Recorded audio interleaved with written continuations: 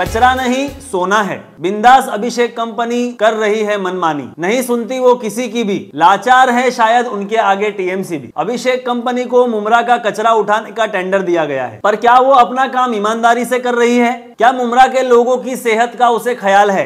क्यों कर रही है वो लोगों की जान से खिलवाड़? वीडियो में आप देखेंगे कि टीएमसी के बोर्ड पर साफ़ साफ़ लिखा हुआ है कि यहाँ पर काम शुरू होगा कोई भी यहाँ कचरा न डाले।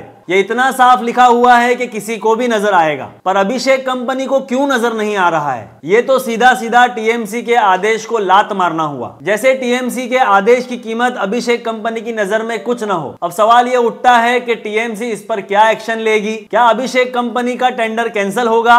ये तो वक्त ही बताएगा। देखिए वो वीडियो जिसमें अभिषेक कंपनी की गाड़ी आकर कचरा फेंक रही है, जेसीबी खड़ी है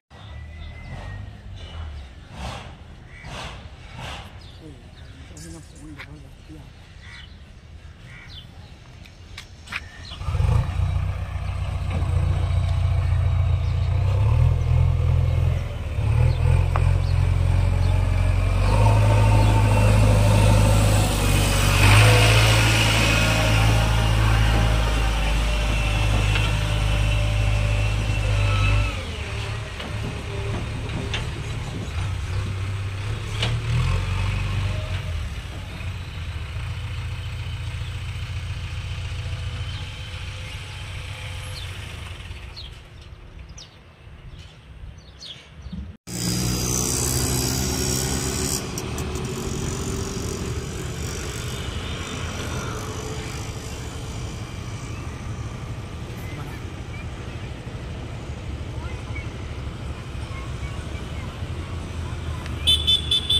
ये थी हमारी आज की न्यूज़ आगे की न्यूज़ के लिए जुड़े रहे, देखते रहे टुडेज वॉइस न्यूज़